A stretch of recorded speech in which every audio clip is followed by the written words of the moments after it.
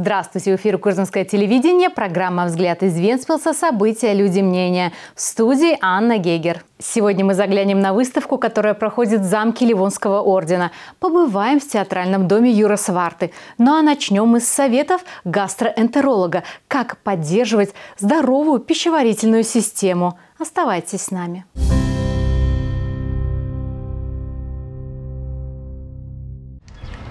Почти 80% клеток иммунной системы находятся в пищеварительной системе, поэтому ее хорошее функционирование напрямую связано с общим здоровьем и благополучием. Стоит особое внимание уделять здоровью пищеварительной системы. Пищеварительная система человека включает в себя не только желудок, но и ротовую полость, пищевод, печень, кишечник и так далее. Каждый орган играет свою роль, и если каждый механизм делает свою работу, то результат хороший. Либо не такой хороший. Как же сохранить здоровье пищеварительной системы? Надо внимательно следить за своим рационом. Например, в летний период, когда возникает желание больше быть на природе, готовить еду на свежем воздухе, надо внимательно следить за тем, чтобы не подцепить кишечную инфекцию. Не стоит злоупотреблять шашлыками. Надо мыть руки, следить за тем, что ешь, насколько свежая еда. Конечно, надо обращать внимание и на то, какие напитки употреблять, ведь могут возникать проблемы, а печень у нас одна. Не стоит пересаливать, пережаривать, переедать.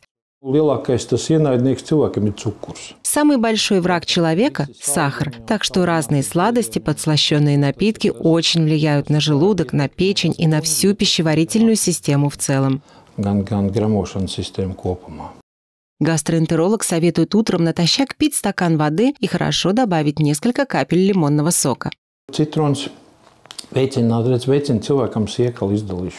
Лимон способствует вырабатыванию слюны, а вода – это жидкость, которая необходима организму, потому что пищеварительная система содержит очень жидкую среду. Все соки, которые выделяются – это жидкость. А это и желчь, и желудочный сок. На жидкости, которую выпивает человек, базируется жидкая среда организма. Гастроэнтеролог Алдис Путитис напоминает, вы здоровы настолько, насколько здорова ваша пищеварительная система.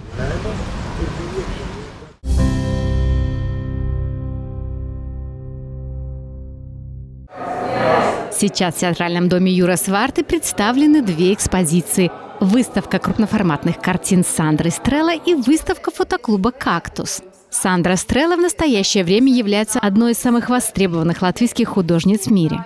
Она регулярно участвует в зарубежных выставках, получая награды и признания как жюри, так и зрителей. На выставке под названием «Брикшни» представлены работы крупного формата, которые ближе всего Сандре. Средний размер картин 2 на 4 метра. Эти картины из серии несостоявшейся выставки «Брикшни», которая проходила в Большом выставочном зале Рижского художественного пространства. Его площадь 1500 квадратных метров. Там было 24 большие картины одной серии, одного рассказа. Я создаю картины сериями. Каждая выставка — это новая серия. Я имею в виду именно мои большие выставки. И брикшни — это частичка из одной серии. Брикшни были использованы как метафора. Каждый в картинах может увидеть что-то свое. Но чтобы понять, что художник хотел сказать своими работами, около каждой картины расположено краткое описание. У этой работы есть подтема. У моих работ редко такое бывает, но здесь присутствует. Это посвящение Музею латвийского современного искусства. Мы знаем, что в Латвии до сих пор такого нет. Здесь я отобразила заброшенную новостройку. В Латвии довольно много заброшенных зданий или зданий, которые не используют. Я поместила туда свои работы. Они находятся под открытым небом. В какой-то момент они могут испортиться. Это как акцент на то, что Музей современного искусства нам все же необходим.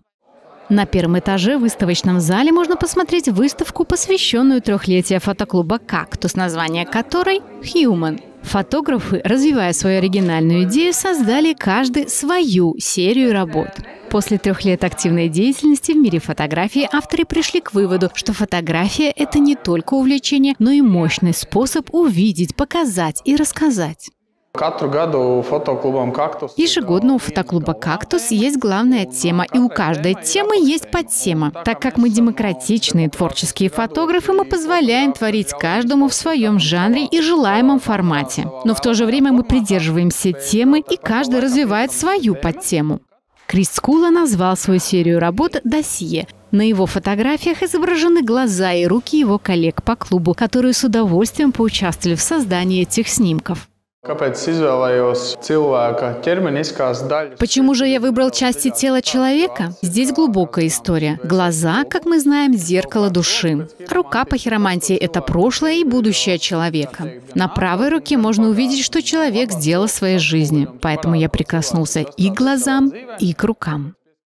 Агнес и Пастора в своих работах объединила прошлое и настоящее, стараясь сохранить память о предках. На ее фотографиях можно увидеть ее бабушку в детстве и молодости. Идея была отобразить наши корни в переносном смысле. Это род, наследие семьи. Я не имею в виду материальные вещи. Речь идет о ценностях. Мои работы сделаны в технике двойной экспозиции. Я в старых маминых фотоальбомах нашла старые фотографии, распечатала их и положила на черный планшет. И поставив фотоаппарат на место, с которого был сделан старый снимок, я сфотографировала. То есть один кадр на старую фотографию, потом ее убираем и делаем еще один кадр. В создании выставки «Human» принимало участие шесть фотохудожников. Агнесе Пастера, Артурс Орбиданс, Гинс Дрейфогелс, Илза Озола, Крист Кула и Санта Атте. Обе выставки можно посмотреть в Театральном доме Юра Сварты до 26 июня.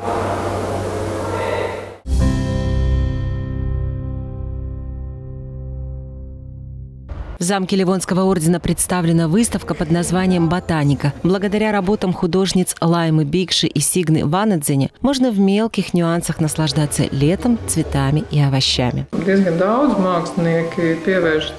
Довольно много художников обращаются к медитации. Если естественное самовыражение художника не относится к социальному искусству, и если во время пандемии сейчас в условиях войны они не могут глобально решить в своем творчестве каких-то больших проблем, то они решают обратиться обращаются к медитативным методам, наблюдают за природой, отображают безупречную реальность и таким образом получают успокоение и дарят его другим. Есть вариации Сигны Ванадзани на тему полевых цветов, яблони, душистый горошек, там еще артишок есть, есть червивые грибы. Так и написано. У Лаймы Бикши картины в технике акварель, а у Сигны Ванадзени тушь, акварель и есть рисунки на бумаге, которую художница сама изготовила. Выбор для выставки очень летний. Конечно, не будем же мы в середине лета экспонировать зиму. Это было бы немилосердно, учитывая долгую прохладную весну. А мы бы еще продолжали. Это осознанный выбор и с точки зрения времени года, да и мысль о ботанических иллюстрациях уже какое-то время не давала мне покоя. Название выставки провокационное. Что же это? Рисунки, искусство или наука? В выставочном зале также есть витрина, в которой представлены старинные книги с филигранными ботаническими рисунками. Их история начинается с V века, и они сохранились до наших дней. Древнейшие ботанические иллюстрации связаны с врачеванием, фармакологией. Особенно популярны они стали в 17-18 веках.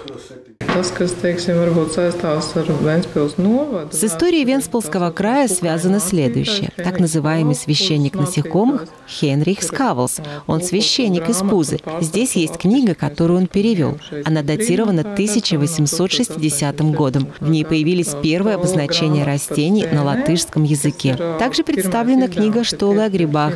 Первое издание вышло ровно 100 лет назад. У нас помоложе издание 1934 года gada, bet tas ir pārizdots tas pats. Эту выставку можно посетить вместе с детьми, которые увлекаются рисованием.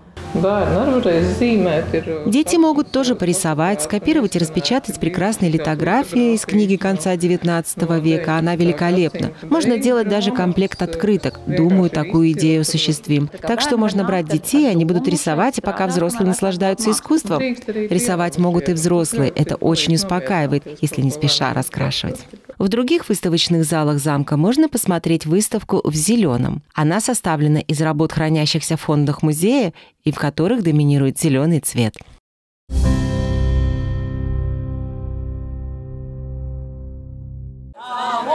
Венспилский центр туристической информации приглашает на праздник Лига Венспилс. Мероприятия начнутся уже сегодня, 20 июня. В 6 часов вечера Венспилский смешанный хор Ливзами приглашает встретить Яна в день с песнями. Праздничная тропа начнется от библиотеки Галлинцемс и закончится в саду музея Герберта Дорба. А вечером в 19.00 в театральном доме Юра Сварты состоится спектакль «Скродердиена Силмачос». А в день солнцестояния в 15.00 в музее Герберта Дорбы начнется время рассказов а вечером винспилчан и гостей города приглашают посетить Приморский музей под открытым небом. Там мероприятия начнутся в 9 часов вечера. Песни, танцы и традиции предков, сопровождаемые зажжением огненной скульптуры и медитацией у моря. В пятницу 23 июня на рыночной площади пройдет праздничный рынок Лига, который начнется уже в 7.30 утра. А в 8 часов вечера в саду Рентя Венспасский театр приглашает гостей на новую постановку под открытым небом «О, дорогая Блауманит».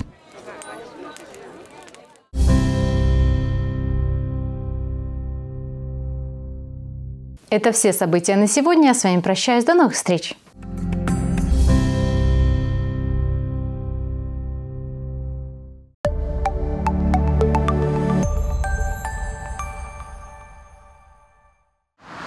С 23 по 25 июня городской общественный транспорт в Венспилсе будет курсировать по расписанию выходных дней. Пятницу 23 июня как в субботу, 24 и 25 июня как в воскресенье. Для междугородних и краевых автобусных маршрутов, обслуживаемых предприятием Венспилс Рейс, особых изменений не планируется. Автобусы будут ходить в соответствии с информацией, указанной в расписании. Интерактивное телевидение «Балтиком». Подключай в комплекте с интернетом и смотри где угодно и когда угодно. В машине, гараже и даже на даче. Всего за 5 евро 95 центов в месяц до конца года. Подробнее на акции «Балтиком ЛВ».